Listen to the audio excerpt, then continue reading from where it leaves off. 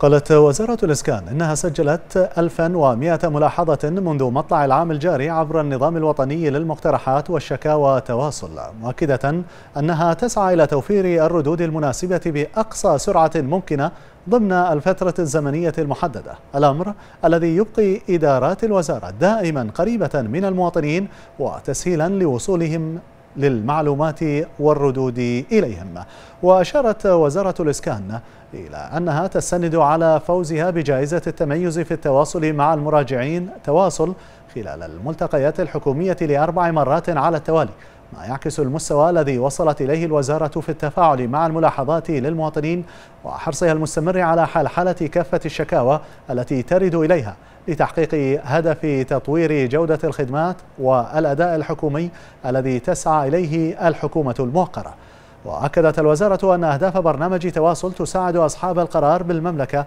على متابعة شؤون المواطنين والاهتمام بملاحظاتهم والتأكد بأن الأجهزة الحكومية تعمل بالكفاءة المطلوبة الأمر الذي يحدد ملامح طريقة عمل الحكومة المستقبلية.